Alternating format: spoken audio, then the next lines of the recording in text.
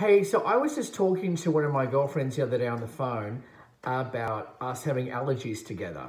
And one of the things which a dermatologist mentioned to me was the importance of brushing your hair before you go to bed.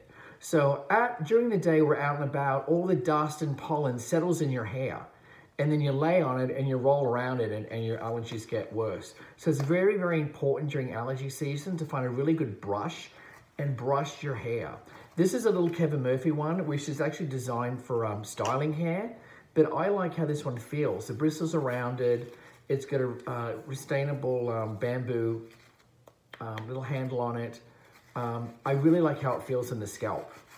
It's a good, just not too scratchy, but good enough scratch to get all the dust out, but also too to stimulate your scalp and also shed and exfoliate the scalp. Because a lot of people feel they have dandruff, but they do not. They just have dry scalp because they're not brushing your hair enough. Um, this is another little French brand. This is a travel one. I'm going to say the name wrong. Isinis, I-S-I-N-I-S, something like that. Anyhow, this one feels fantastic too. Again, it comes much bigger than this. Um, every time we get these in at work, we sell out of them like that. Um, they just feel so good. It's a little bit scratchier than the Kevin Murphy one, but again, you know, a little bit of scratch, or do you want to lay in bed sneezing all night with a dry scalp?